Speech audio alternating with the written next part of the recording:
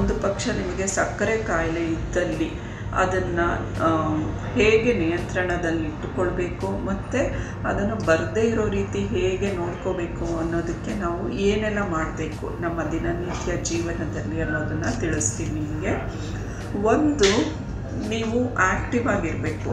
ದಿನನಿತ್ಯ ವಾಕಿಂಗ್ ಮಾಡೋದು ಯಾವುದೇ ಥರದ ಎಕ್ಸಸೈಸ್, ಸ್ವಿಮ್ಮಿಂಗ್ ಆಗಲಿ, ರನ್ನಿಂಗ್ ಆಗಲಿ ಯಾವುದೇ ಥರದ ವಾಕಿಂಗ್ ಆಗಲಿ ಮಾಡ್ಕೋಬೇಕು, ಯೋಗ ಮಾಡಬೇಕು, ಮತ್ತು ನಿಮ್ಮ ಬ ದೇಹದ ತೂಕವನ್ನು ಕಡಿಮೆ ಮಾಡ್ಕೋಬೇಕು.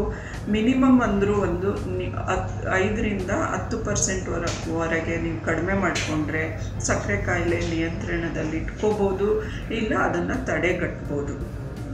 ಮತ್ತು ನಿಮ್ಮ ದಿನನಿತ್ಯದ ಊಟ, ಉಪಚಾರಗಳನ್ನು ನೀವು ನೋಡ್ಕೋಬೇಕಾಗತ್ತೆ. ಅದರಲ್ಲೂ ನಾವು ಸಿಹಿ ತಿಂಡಿಗಳನ್ನು ಆದಷ್ಟು ಕಡಿಮೆ ಮಾಡ್ಕೋಬೇಕು ಮತ್ತು ತಿನ್ನಕ್ಕೆ ಹೋಗಬಾರ್ದು.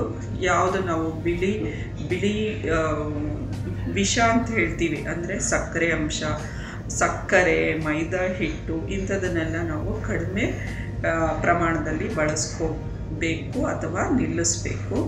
ಮತ್ತು ನಾವು ತರಕಾರಿ ಮತ್ತು ಫ್ರೂಟ್ಸ್ ಅನ್ನು ಜಾಸ್ತಿ ಉಪಯೋಗಿಸ್ಬೇಕು. ನೀರು ಕುಡಿಬೇಕು. ಈ ಕೋ ಸ್ವೀಟ್ ಆ್ಯಂಡ್ ಬೆವರೇಜಸ್ ಅಂತ ಏನು ಹೇಳ್ತೀವಿ, ಕೋಲಾ ಅಂಥದನ್ನು ಅವಾಯ್ಡ್ ಮಾಡ್ಕೋಬೇಕು.